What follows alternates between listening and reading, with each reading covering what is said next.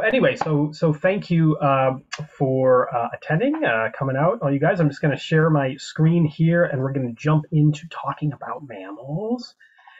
And so, all right, now I'm gonna I'm gonna do a little bit of a, a lecture kind of thing, but I, I, don't want it to be too super formal since it's a bit a little bit late for me. Since I know it's earlier in the day for you, you got the day ahead of you, but uh, also I really want to make sure we have time for some discussion. So uh, I have a, a, slide deck that I usually do uh, when I uh, give this talk, uh, but I'm, I'm going to breeze through a few things and make it a little bit less formal than I normally would to make sure that we have time for question and discussions. Anyway, so thank you to Kyle for that intro, really kind.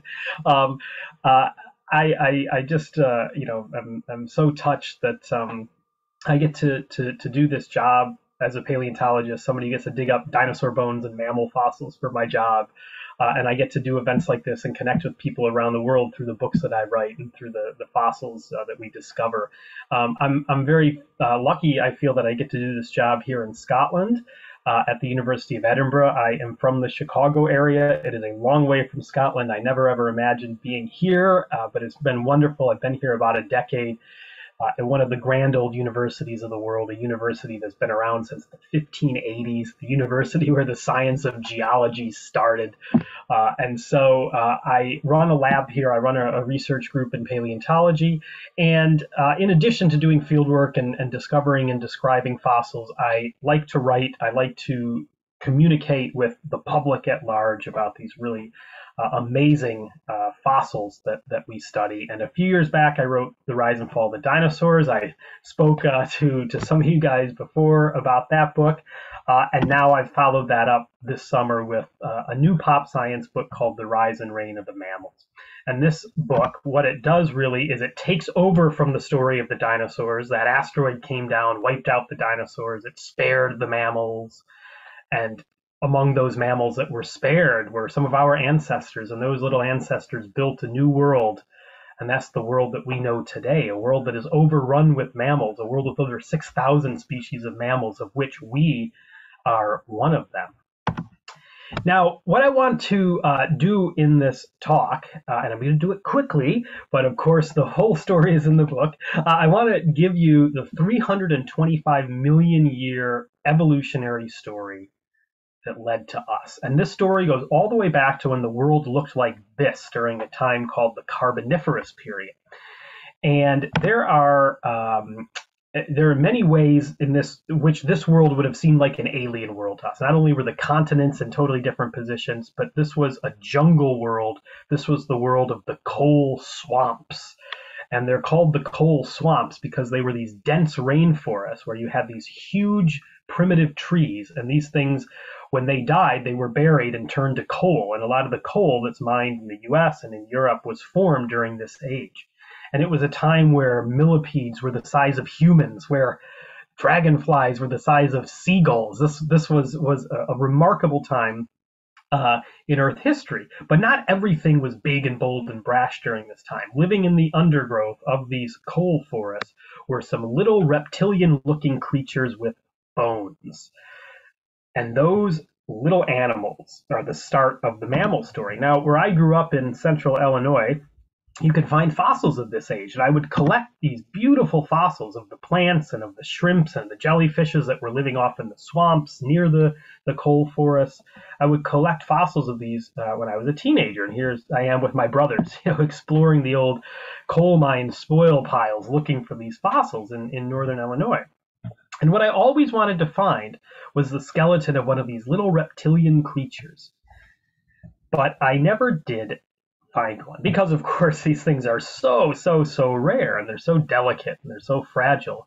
But in other parts of North America, people have found the skeletons of animals from this age.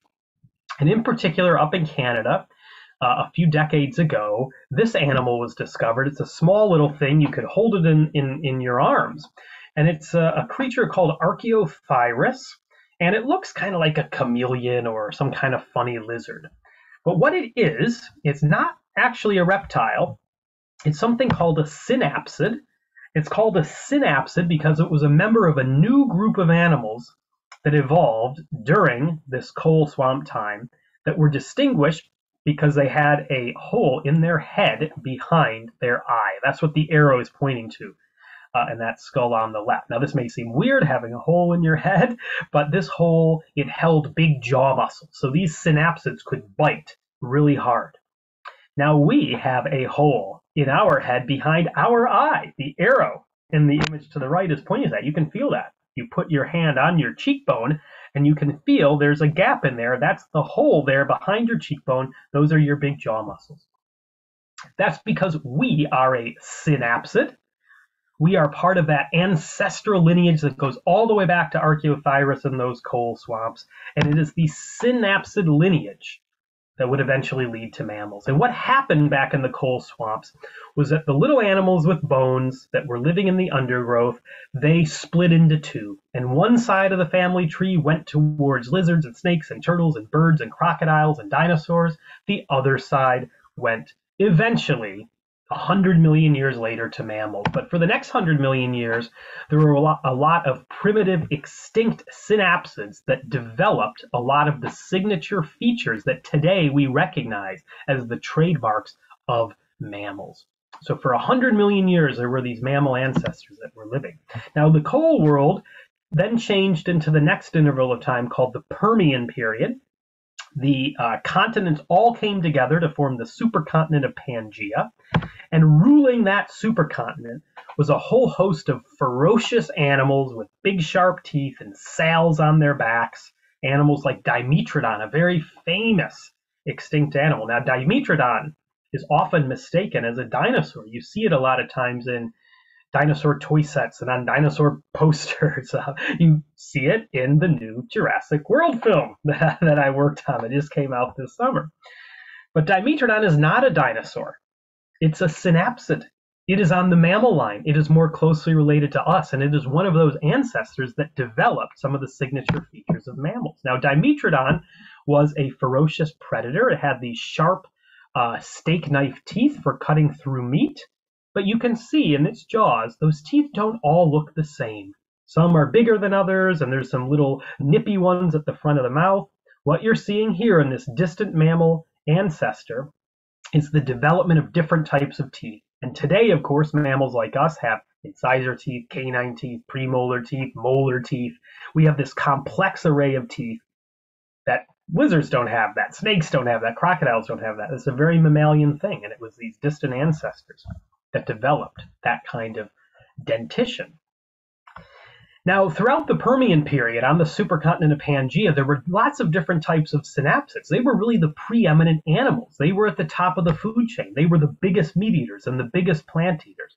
And there were lots of smaller species too. And it looked like they would go on ruling the world forever. However, about 250 million years ago, the Permian period ended in catastrophe. These enormous volcanoes started to erupt in what is now Siberia and this led to runaway global warming because all the carbon dioxide and methane that came out of those volcanoes. And this led to a mass extinction. It was the biggest extinction in all of Earth history, the closest life has ever come to completely dying out. And up to 95% of species perished. Most of those synapsids, like those big ferocious Dimetrodon type animals, they died in this extinction. But there were a few types of synapsids that managed to eke through. And one of those types of synapsids was a little creature called a cynodont. And this is a very famous species of cynodont. It's called Thrinaxodon, and its fossils are found in abundance right after that extinction happened. And this was a small animal. You could hold it in your arms. It grew fast. It could move pretty fast. It had hair all over its body to help keep itself warm and to regulate its temperature. Oh, there's another feature of mammals. and it could burrow down. It could dig burrows and hunker down and wait out the worst of the weather. And here's a, a CAT scan of a fossil burrow with a skeleton of one of these cynodonts inside, nestled up with an amphibian, believe it or not. Well, these cynodonts that made it through the extinction, that got through those volcanoes, they continue to develop new features that then their descendants would retain. And these cynodonts really were the next step on the way to mammals. And imagine that you are one of these cynodonts like Thrinaxodon. You survive the volcanoes. The earth starts to heal. And you look out into this world in the next interval of time after the volcanoes. This is called the Triassic period. It's still the supercontinent of Pangaea, but it's now largely empty. 95% of stuff is, is dead. And so the opportunities are abundant. But it wasn't just the cynodonts that survived. There were a few other types of survivors too, including some small little reptiles. And it was those reptiles that became the dinosaurs. And it was the cynodonts that became the mammals. And dinosaurs and mammals have the same origin story. They descended from ancestors that made it through those volcanoes and then just started to diversify in the Triassic period on the supercontinent of Pangaea. Now, dinosaurs and mammals, from that point on, their fates would be forever intertwined, but their fates were different. Dinosaurs were destined for grandeur. Some of them became as you know bigger than Boeing 737 airplanes. Mammals did the opposite. This right here is one of the very first mammals, and it is a tiny, humble, almost forgettable little creature. These cynodonts that survived the volcanoes, that were now having to evolve in a world where dinosaurs were getting bigger, they were relegated to the shadows. They were forced to go small. But in going small, these first mammals evolved a whole suite of new features that helped them to survive underfoot of the dinosaurs. And a lot of these things are things that we recognize today as some of the hallmarks of mammals. They're things that we ourselves have because we descended from these ancestors. Now, these first mammals, they were small. They would have looked like little mice or rats. And just to show you how small they were, at the bottom there, that is a fossil jawbone, and next to it is a grain of rice or scale. These mammals were tiny. They had to be to survive in a dinosaur world. But again, in becoming small, they developed a lot of new signature superpowers, including the full set of incisors, canines, premolars, and molar teeth. Those teeth could then do lots of different tasks. They could grab food, they could cut food, they could chew food. This is why the teeth of our upper and lower jaws mm, lock together when we bite. They fit together precisely. That allows us to chew our food. That's a really unique thing. Lizards don't do that. Snakes don't do that, birds don't do that, but mammals can chew. Now, as part of that, the jawbone holding the teeth of the first mammals, it simplified. The ancestors of mammals had lots of little bones in their lower jaws, but mammals simplified that down to a single bone that held all the teeth to which all the muscles could connect. That allowed these mammals to chew properly, to bite really strongly. Now, in doing so, however, if you want to chew your food, really the upper and lower teeth have to come together perfectly. That won't work if you're constantly changing teeth throughout your life, like a lizard or a crocodile or a dinosaur does. And so mammals developed a new set of teeth where there's only one set of baby teeth, one set of adult teeth. That's it. And as part of that, mammals started to feed their babies a new type of food, milk. And as all of this was happening, and that single solid jawbone was was was coming together, all these other bones that used to be in the jaw, they didn't have a purpose anymore. They were wasting away. Some of them were recruited to a new function, and they became little bones that moved into the ear that helped to transmit sound. So these mammals developed keener senses at this time as well. And they also developed big brains and keen intelligence. The first mammals became smarter than anything else that they were living with. They had the biggest brains relative to their body size of anything else around at the time. And that's still true today, by the way. Now, all of this was happening as those first mammals were trying to survive in a dinosaur dominated world. And we find fossils of some of these mammals living with the dinosaurs right here in Scotland at a, at a beautiful place, an island off the west coast of the country called the Isle of Skye this enchanted landscape that looks like something out of a, a fantasy novel. And I take my students there every year, and my students, here are some of them, uh, scrutinizing a new discovery. They always make the best finds. They do. They have the best eyes and they make the best discoveries. And we're always on the lookout for everything, for the big dinosaurs all the way down to the tiniest little mammals that we have to look, try to find by going nose down to the rock with little magnifying glasses. Now, you can find mammals, and in the 70s, there was a school teacher who found this fossil. It may not look like a lot, it may look like a bit of roadkill, but for a long time, this was one of the only skeletons of a mammal from the age of dinosaurs. For a long time, for centuries, we knew hardly anything about the mammals living with dinosaurs. We had just little bits and pieces here and there. That has now changed over the last 25 years because of some stunning discoveries in China. Way up in northeastern China, far off the tourist trail, in a place called Liaoning province. It shares a long border with North Korea. It's a land of factories, of rolling hills, of farmland. And about 25 years ago, some farmers out working their fields started to find fossils that looked like these, these exquisite skeletons of dinosaurs with feathers on their bodies, the things that prove that birds evolved from dinosaurs. Preserved in such pristine detail because their ecosystems were buried by volcanoes, almost Pompeii style, and that locked in the fossils. And because of that, the entire ecosystems are preserved. It's not just the dinosaurs. There's plants, there's fish, there's insects, there's pterodactyls and lizards and frogs and turtles, and there are mammals found at these sites in China.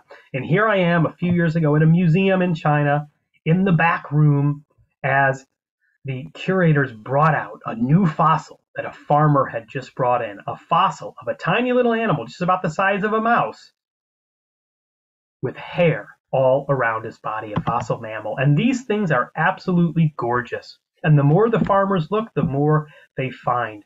And these fossils, which come from the Jurassic and Cretaceous periods, the next two intervals of the age of dinosaurs, these fossils tell us that mammals were a lot more interesting during the time of dinosaurs than we used to think. It is true that during this time, 150 million years, mammals lived with dinosaurs, and mammals never got bigger than a house cat. That part is true. The dinosaurs did make it so the mammals couldn't get very big. The dinosaurs kept the mammals small. But the more we learn from these fossils in China, we can see the mammals did the opposite. They kept the dinosaurs big. And by that, I mean you, you never saw a T Rex the size of a mouse or a Triceratops the size of a rat. No, no, no. Because mammals filled those small ecological niches, and they did it so well. There were mammals at that time that were scurriers, that were climbers, that were diggers, that were swimmers. There were even mammals that had wings of skin that they use to glide between the trees. And some mammals, like this one here in China, this one is one of the biggest mammals of the time. It's about the size of a cat. this mammal was buried by the volcanoes. It was buried so quickly that its last meal was preserved in its stomach. And that last meal was a baby dinosaur. So this was a mammal that ate dinosaurs for breakfast. so what this all means is that mammals were actually much more interesting during the time of dinosaurs than we used to think. They were small, they had to be small, the T-Rexes and Brontosauruses, they occupied the large sizes, but in being small, in living anonymously, in living incognito, the mammals proliferated. And we keep learning more about them. We do fieldwork in Romania, which is an incredible place to find fossils. We literally have to pluck the fossils out of these riverbeds, and there's a lot of mammals there that come from the Cretaceous period. And a lot of these mammals are a totally extinct group called multituberculates, and they were diversifying as a new food source was diversifying as well. And that food source was flowering plants plants with fruits and flowers. And believe it or not, a Brontosaurus, a Stegosaurus would have never seen a flower because flowering plants came late in evolution. They only started in the Cretaceous period. Now, today there's flowering plants everywhere. Most of our food that we eat comes from flowering plants. But back in the Cretaceous, these mammals started to eat the new flowering plants, they proliferated. And that's how things stood, more or less, until 66 million years ago. The continents moved around, Pangea broke up, the continents started to look like they more or less like they did today, and then 66 million years ago, one random Saturday afternoon, let's say, this six mile wide rock fell out of the sky. It was an asteroid traveling faster than a speeding bullet. It smashed into the Earth with the force of over a billion nuclear bombs put together, and it unleashed chaos. Tsunamis and wildfires and earthquakes and the dust and the dirt and the grime and the soot all went up into the atmosphere and blacked out the sun, and the earth was plunged into darkness for maybe up to a decade, and the, the, the forests collapsed, and the plant eaters had no food, and the meat eaters had no food, and ecosystems imploded like houses of cards. Dinosaurs were there, and mammals were there when that asteroid hit. In fact, T Rex itself was there, Triceratops itself was there when the asteroid hit. But those dinosaurs, they could not make it through. They had ruled the Earth for 150 million years, but all of a sudden, the things that had given them such advantages in the world before, they were now hindrances during this time of bedlam. Dinosaurs were too big. It, they, it took them too long to grow from a baby into an adult. Most dinosaurs couldn't hide very easily. Most dinosaurs had very specialized diets. They were not primed to succeed during an unexpected and sudden period of chaos. But mammals were. Those little mammals that for so long had had to endure in the shadow of the dinosaurs, they had what it took. They were small. They grew fast. They reproduced fast. They could hide easily. They could burrow. They could eat lots of different foods. That was the winning hand of cards to get through the asteroid. And it's a, a stunning thing to think about, kind of an eerie thing to think about. But we had ancestors that stared down that asteroid, and if we didn't have those ancestors, we wouldn't be here today. Now, a lot of my work uh, over the last uh, decade or so has focused on New Mexico. New Mexico is one of the best places in the world for discovering fossils of the very last dinosaurs and the mammals that took over. And I bring my students out to New Mexico Here's Sarah, my very first PhD student in Edinburgh. She's now one of the world experts on the mammals that took over from the dinosaurs. And we find a lot of their fossils in New Mexico. And these fossils tell us a few really important things. First of all, very quickly after the asteroid, it becomes a mammal dominated world. There's tons of new species of mammals that, that start to form very diverse ecosystems. Secondly, those mammals are a lot bigger than they were before. Remember, for 150 million years, mammals lived with dinosaurs. Mammals never got larger than a house cat, but now, within a few hundred thousand years of the asteroid, we have fossils of mammals the size of pigs. Within one or two million years, fossils of mammals the size of cows. And from there, mammals would keep getting bigger and bigger and bigger. The third thing we see is that these mammals that are proliferating in New Mexico so soon after the asteroid. They are one particular type of mammal. They are placental mammals, those like us that give live birth to well developed babies. So the vast majority of mammals today, whether it's us or monkeys or dogs or cats or bats or whales or elephants, are all placental mammals. The other mammals are things like marsupials that give birth to tiny little babies that they raise further in pouches. These are things like kangaroos and possums. And then there's only a few monotremes, these very primitive mammals that still lay eggs. But the vast majority of today's mammals are placentals, and this is because placentals are the ones that blossomed right after the extinction, leading to the 6,000 plus species today. Now, we don't know a whole lot about those placentals that emerged right after the extinction. We are learning a lot of new things about them from all of these fossils we're finding in New Mexico. It's still a big mystery where they fit on the family tree mammals. We know they're placentals, but beyond that, we don't know very much about them. But we're starting to learn quite a lot about them. We're learning more about their intelligence and their senses. And this is Ornella, who is a postdoc who works in my lab. Ornella has CAT scanned a lot of the skulls of these mammals, and that and she uses the X-rays of the CAT scanner to see inside the skulls and build digital models of the brain, kind of like a medical doctor does. And what Ornella found was really interesting that these mammals, these placental mammals living right after the extinction, they their bodies got so big so fast that their brains couldn't keep pace. So the size of the brain in relation to the body actually got smaller in the 10 million years after the extinction. In other words, these placental mammals that took over from the dinosaurs, they did it by getting dumber. so it wasn't huge brains that really helped them. Bigger brains came later. It was getting bigger in overall size that was more important. The second thing we're starting to see, and this is a study that we just published last week, it was led by Greg here, who's a postdoc in my lab. We published it in Nature. Uh, and Ornella's paper, by the way, was published in Science earlier this year. These are, scientific journals. But Greg's paper really just literally hot off the presses. Greg has used, he's made very thin slices of teeth to look under the microscope. There's daily growth lines in teeth that allows you to tell uh, a chronology of the life of one of these mammals. And there, if you measure the chemistry across those growth lines, there are chemical markers of birth and of weaning.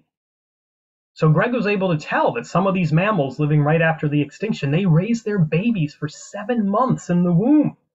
Those babies drank milk for one or two months afterwards. Then they weaned onto solid food, and then within a year, they started making their own babies. So it was being able to grow fast, but also to give birth to big babies that developed a long time in the womb. These things were keys that allowed these placental mammals to get really big and to take over from the dinosaurs. But there's still a lot to learn about these mammals that were living right after the extinction. If you go about 10 million years after the extinction, things start to look a lot more familiar to us.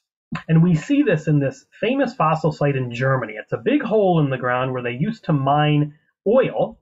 They, they mined shale that they took oil out of. And when the mines closed, this almost became a garbage dump but instead it was turned into a UNESCO World Heritage Site. And why was that? Because in the shale rock where the oil is found are also a lot of fossils, exquisitely preserved fossil mammals that fell into an ancient lake about 55 million years ago. And these mammals are ones that are familiar to us. These are obviously placental mammals, and they're obviously members of today's major placental groups. There are things like horses and things like primates, but they're a little bit different. The primates don't quite look like the monkeys of today. They're a bit more primitive. The horses are really different. They're tiny. These are the first horses of all, and they're just about the size of a poodle. But later on during this interval, which is called the Eocene interval, mammals continued to modernize, and some of them became sublime. And there were some mammals that started to look like they were trying to become dinosaurs. And these include some of the largest mammals that have ever lived on land, including this thing on the bottom here, Paraceratherium. It was a rhino, a rhino without horns, but a rhino nonetheless. And it weighed close to 20 tons, the biggest mammal that has ever lived on land. Meanwhile, during the Eocene interval, a couple groups of mammals started to do some really unusual things. One group of mammals turned their hands into wings and took to the skies. And we see the first fossils of bats. And of course, bats persist today. They are some of the most incredible mammals of all. They're the only mammals that, that can use powered flight, that flap their wings to generate lift. Only birds and pterodactyls are the only other animals with bones that have ever done that. And so bats developed the superpower and it allowed them to become the first group of mammals to properly spread all over the world. At the same time, another group of mammals started to undergo its own really peculiar transition. This is an animal called Pakicetus. It maybe has the general bearing of a dog or a wolf if you look at it long snout, sharp teeth. But look at those arms and legs. They end in hands and feet that look kind of like scuba divers' paddles. And believe it or not, this animal here is one of the very first whales. It was a whale that could walk because the ancestors of whales lived on land. Whales and dolphins are mammals that evolved from land living ancestors and moved into the water. And this was all happening during the Eocene interval. And importantly, we have a beautiful sequence of fossils, of transitional fossils, that show step by step by step how an ancestor looked like a tiny little deer, an ancestor with hooves, a fast runner on land. How an animal that looked like Bambi turned into Moby Dick. And of course, whales persist today. And we start to see some of the first modern whales fossils of absolute ocean living behemoths in Egypt, where there are these just otherworldly looking skeletons eroding out of the Sahara Desert.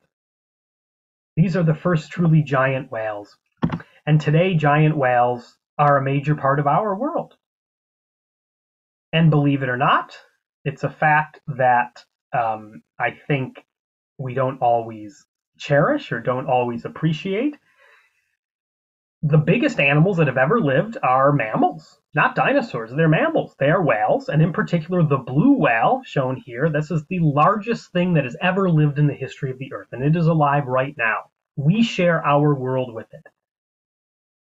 And I think we take that for granted. I think if blue whales were extinct and all we had were some of their petrified bones, we would hold them in as much esteem as we hold the dinosaurs. So let's conserve them. Let's cherish them. Let's appreciate them for what we are. Just look at how big they are. This is a colleague of mine standing next to a blue whale skull. This guy would be a piece of popcorn to that whale.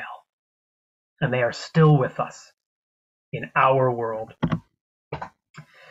Now, the first whales, the first bats, and a lot of these other, you know, horses and primates and so on, they were evolving in a world that looked like this.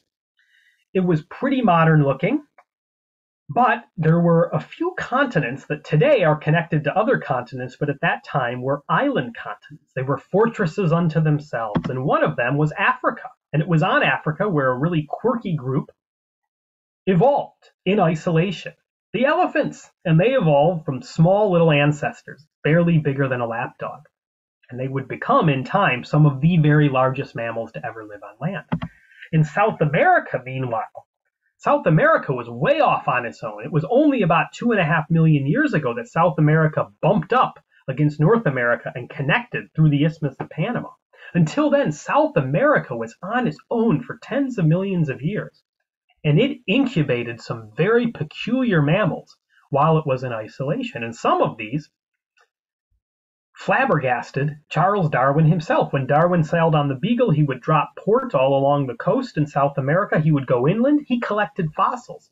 And he collected a lot of fossils of these really strange mammals. They seem like Frankenstein creature mashups a little bit of elephant, a little bit of rodent, a little bit of horse. He didn't know what to make of them. And it was only a few years ago that we finally identified what they are because they're all extinct today, but some fossil DNA was found in some of their bones, and that showed through the DNA paternity test that these things were close relatives of horses.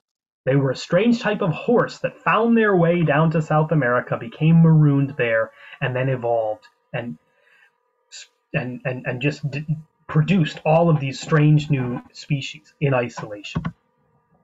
Now, during this time, when all of this was happening, everything I'm talking about here, bats and whales and the strange African and South American mammals, this was a, a, a jungle world, a hothouse world. It was warm, really warm. The tropics and the subtropics, that sort of climate covered much of the earth, and that means there were a lot of jungles all over the earth. But then, during the Oligocene interval after the Eocene, the global temperature started to change, and it all had to do with changes in ocean currents and changes in the amount of carbon dioxide in the atmosphere. And what that meant was the jungles started to, to decline, and they started to dry up into little bubbles of jungle, and they were replaced by open space. And filling that open space were plants that could grow quickly and were really resistant to the cool temperatures and the dryness that comes with cool temperatures. And these were a relatively new type of plant, the type of plant called grass. And although it may seem odd to us because grass is such an integral part of our world, grasses, the first grasses, only evolved at the very end of the age of dinosaurs, but they were very marginal plants. It was only in the Oligocene interval that grasses started to spread and you started to see the first proper grasslands, the first savannas, prairies, whatever you'd like to call them. Again, those are very common ecosystems today, but they were a very new invention of Earth history. And about 12 million years ago, in the time after the Oligocene, which was called the Miocene, grassland spread across much of the northern part of the world, North America, Europe, and Asia, a lot of North America was covered in grasslands, and you could go on safari in Nebraska at that time. There were rhinos and camels and horses and elephants living in Nebraska and across much of America. And a lot of their fossils are found in this beautiful fossil site called the Ashfall Fossil Beds, where the Yellowstone volcano, when it erupted about 12 million years ago, it buried an entire herd of these rhinos in ash. Now, a lot of these safari type animals, they evolved to live on the open plains. They, they grew hooves and they started to run very fast and they evolved new types of teeth that they could use to eat the grasses. And then, meanwhile, there were lots of different groups of meat eaters that evolved to take advantage of those new plant eaters. And these meat eaters became specialists at ambushing or chasing prey in the open spaces. Dogs and cats, you know, they trace their ancestry to this time. But there were some extinct groups too that were even more terrifying, like these. Uh, so-called bear dogs. There were also things that we call hell pigs, these enormous, gnarly, wild boar type animals. These were the top predators of those. But that's what was happening in North America and in Europe and Asia during that time. Now, down in Australia, things were very different. I haven't said much about Australia yet because Australia was an island continent at the time, and it has continued to be an island continent. While South America and Africa have moved northwards and they've docked with the northern continents, Australia has stayed on its own. And the grasslands came much more recently to Australia. And during much of the time I've been talking about, Australia remained subtropical and covered with rainforest. And it was full of mammals, but very different mammals than anything I've been talking about. And there's a fossil site out in the outback, a place called Riversleigh, where these teams of paleontologists, they literally explode through this hard rock with explosives to liberate the fossils within. And a lot of these are gorgeous fossils, and these are mammal fossils, but these are not dogs or cats or elephants or whales or bats or primates or anything like that. They are marsupial mammals. They are some of those peculiar mammals, part of that group that gives birth to tiny little babies that they raise in pouches. Now, it turns out marsupials were pretty widespread across the northern continents during the final part of the age of dinosaurs. But then when the asteroid hit, they eh, eh, nearly all went extinct. But some of them escaped south down to South America where they proliferated, and there still are a lot of marsupials in South America today.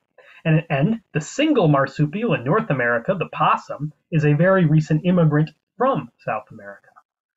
But other marsupials found their way to Australia. And Australia was really so far on the edge of the world that those marsupials were able to evolve in splendid isolation.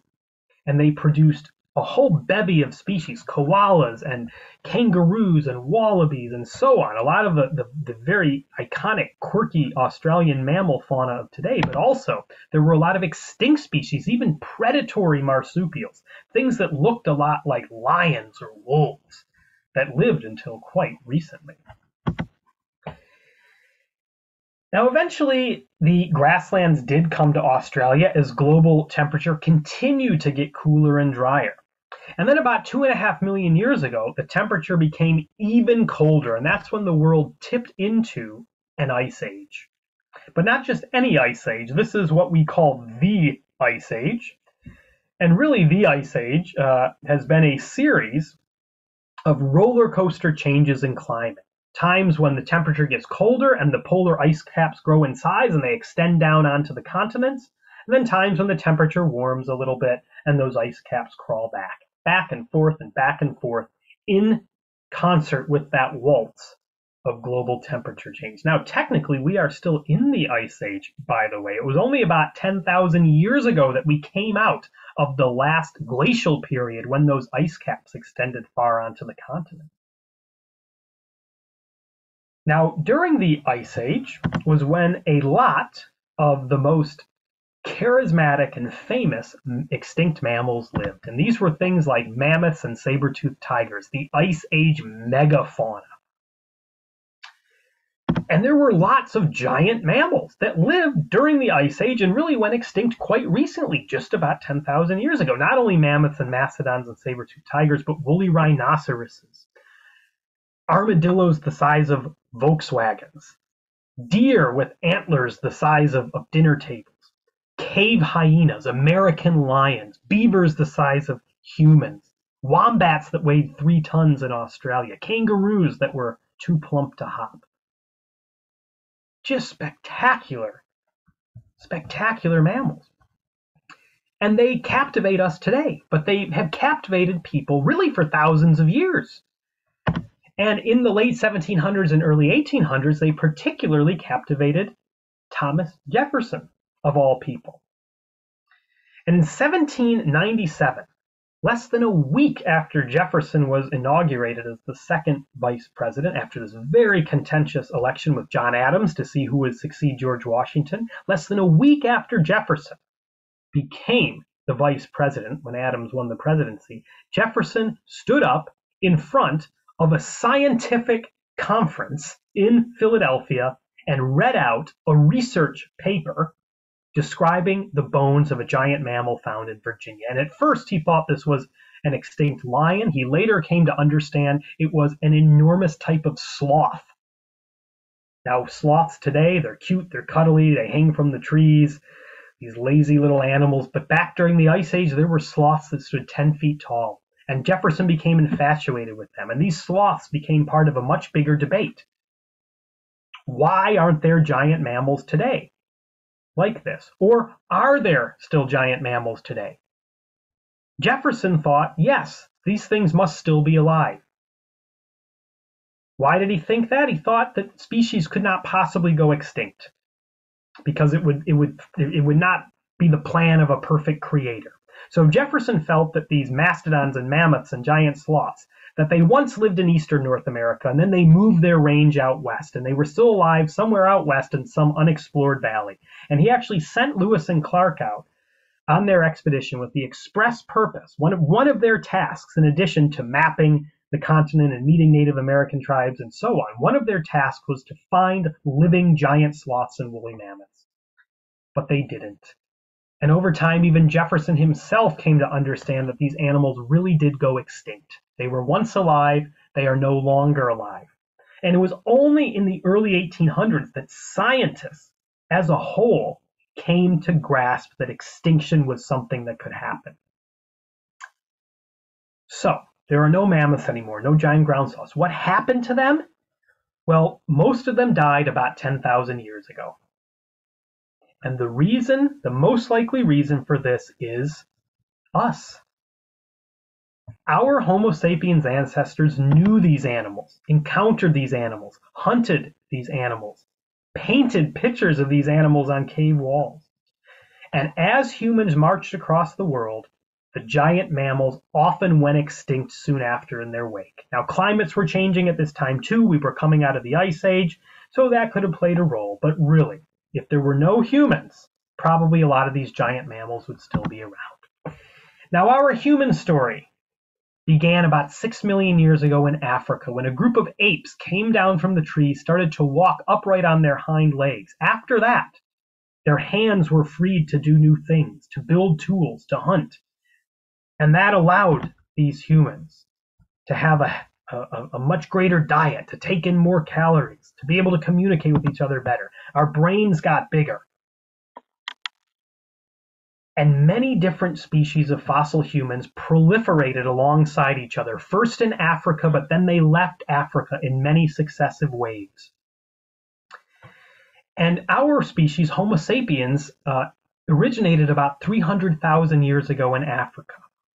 And a bit after that, it started to move outside of Africa. And when our species left Africa and went up into Europe, into the land of the ice, it would have encountered another different species of human, the Neanderthals. And in fact, there were dozens of species of fossil humans that once lived. And up until 40,000 years ago, it was a normal thing for there to be multiple species of humans living at the, at the same time, even living in the same place. And that sounds totally odd to us because although there's like 8 billion humans on the planet today, we are all the same species. But back then there were different species. And really it does make sense. There's many different types of cats in today's world. You know, many types of rodents. So back then there were many types of humans. up until about 40,000 years ago. That's when Neanderthals went extinct. And why did they go extinct? Well, probably because of us. But we were able to interbreed with them. And a few percent of most of our genes are actually Neanderthals. But Neanderthals met their end as Homo sapiens really began to spread around the world. And humans, our human species left Africa, went to Europe, went to Asia, got to Australia, eventually got to North America, got to South America, covered the whole world. And then not too long ago, we started to migrate even further afield. And who knows how far we will go. But as we dream of an interstellar existence, we must confront a, a, worrying situation at home. And that is that right now is probably the most perilous time in the history of mammals ever since our ancestors stared down that asteroid. Since our human species, Homo sapiens, has been moving around the world, about 350 species of our fellow mammals have gone extinct, and many more are endangered. And this is largely because of us. It's because we hunt these animals, because we clear land to plant our crops. It's because we change the climate, the temperatures, the environment. We are one sublime species of mammal that has evolved this ability to affect all of our other mammalian cousins to such a degree. But we also have been endowed by evolution with big brains, with consciousness, with the ability to work together in groups. And so I am hopeful that we will use the fossil record, this 325 million year history of our ancestors, to understand all of the things mammals have been through, to give us perspective, and to help us prepare for a better future in which we are more resilient to climate and environmental change, in which we can conserve ourselves and our mammalian cousins. So, with that, I'd like to thank you very much for your attention, and I am very happy to take uh, any questions. So, thank you and cheers. Thank you so much for that, Steve. Uh, that was that was a really fascinating talk. Um, so, if anyone has any questions, please feel free to use the Q&A and we'll try to get to as many as we can while we still have some time left. Yes, um, we got 10 minutes and I, will take whatever I can. And if I don't have a chance to get through everything by the top of the hour, um, my uh, email is pretty easy to find. So please do drop me a message and then uh, of course, it goes without saying, but this was just a little teaser, and all the answers, of course, can be found in the book, which you can find at any good library and in any good local bookshop. of course. Uh, well, so in the meantime, I have some questions for you. Um, so I'm sure you get this one all the time as a paleontologist, but I'm just curious, what, what are your thoughts on the the prospect of bringing back the woolly mammoth. Of course, I use quotes because it wouldn't really be a woolly mammoth, but uh, what, what, do you think of that? I know that there's some researchers who are really interested in doing that. Mm-hmm. Well, I, I, won't pretend to know the mechanics of doing that because I'm not a geneticist, and you know, very quickly it becomes a, a you know very different, very highly technical field. Uh, what I will say is that um, you know ever since Jurassic Park came out as a book and as a film, you know, people have been wondering if we could bring back dinosaurs. And, you know, as a scientist, I never say never. Um, that's the worst thing a scientist could do. You start closing your mind off to possibilities if you say something's impossible. So I'm not going to say bringing back a dinosaur is impossible, but it seems very implausible. And that's simply because we've never found any dinosaur DNA, you know, not even a little bit. Uh, and of course, I mean, every paleontologist would love to be the first person to find dinosaur DNA, but nobody's done it because it's so hard. DNA breaks down so quickly once an animal dies. But a woolly mammoth is a whole different ballgame because woolly mammoths, they went extinct actually only about 4,000 years ago. There were some populations that persisted on islands. Most of them went extinct about 10,000 years ago. That's not very long. Plus, we still find frozen carcasses of woolly mammoths in Siberia, in Alaska, in the permafrost. You know, these not just the bones, but the muscles, the skin, the hair. Uh, we had we through these these frozen cadavers, um, geneticists have sequenced the entire woolly mammoth genome. We know every gene that a woolly mammoth had. We know more about the woolly mammoth genetics than we do about most living species of mammals. And Woolly mammoths are very close relatives of Indian elephants and Asian elephants. And in fact, woolly mammoths and Asian elephants are more closely related to each other than either one is to an African elephant. So an Indian elephant an Asian elephant could maybe be a mother, you know, host species for a clone. So for those reasons, I think it is actually quite plausible that, that a mammoth could be resurrected. Uh, and then you get into okay, if you can do it, should you do it? you get into the ethics. That's a whole different uh, kettle of fish there. I would say, in one sense, you know, the Earth now is very different than the Earth the woolly mammoths knew. The Earth is much warmer. You know, the environments are much different. So in a way, a mammoth would be like an alien in today's world. However, on the flip side, we probably killed the mammoth. So would bringing back the mammoth be some penance, you know, for that sin? I don't know. So I don't have a firm answer to the ethics, but that's just a little bit of my thought process about the question. Thank you. Um, so, you know, if, in, even in our modern era where most of us humans don't have to hunt to survive and we can just go to the, the grocery store and get our food, are we still evolving in our modern sedentary existence? We certainly are evolving. Uh, we're evolving culturally, no doubt, uh, uh, and we're evolving physically uh, as well. Um, some of that is through natural selection. Um, uh, some of that, you know, we can't quite see just on our normal timescales.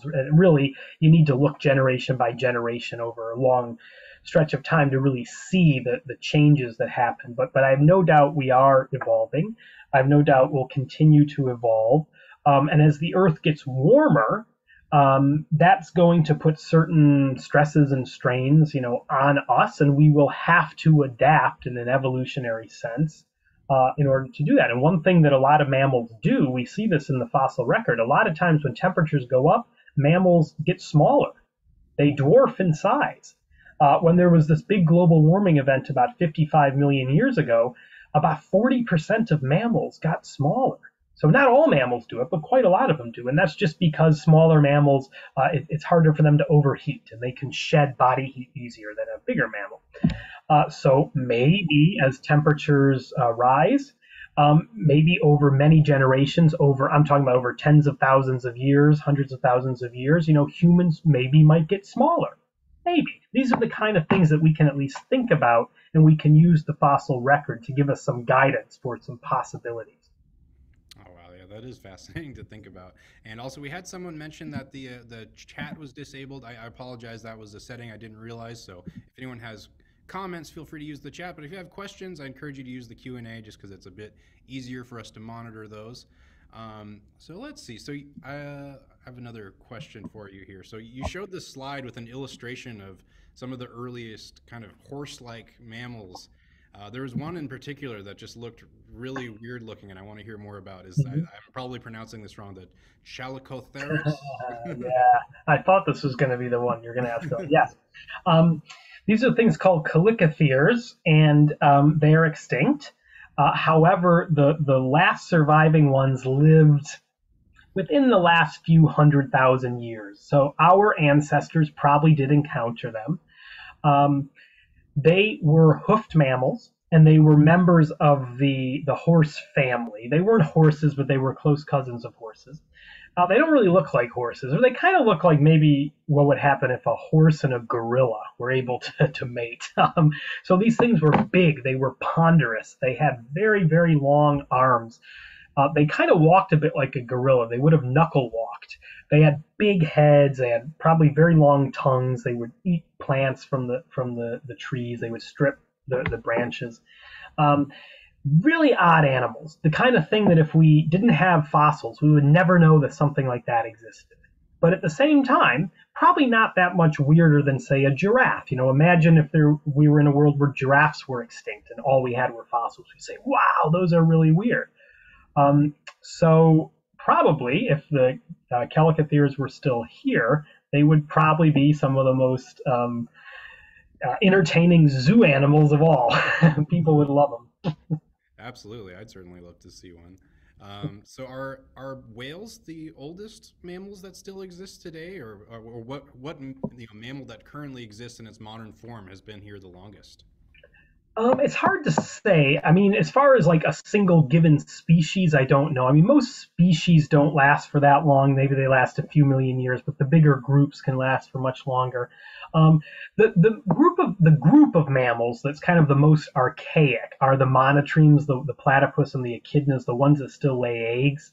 And they are basically holdovers from a group, an ancient group that was once widespread across the southern continents during the time of dinosaurs. And almost all of them died out, but really just, I think, through the quirks of fate, a few species managed to hold on in Australia and in some of the islands around Australia, way off in the corner of the world. You could imagine an alternative universe where you know that line was snipped by extinction and we wouldn't know anything about him today. You could also imagine another alternative universe where another one of these archaic mammal groups like some of those ones with the wings of skin that live with the dinosaurs where one or two species continue to today and we still have them. That's kind of what we're at uh, with those those monotremes.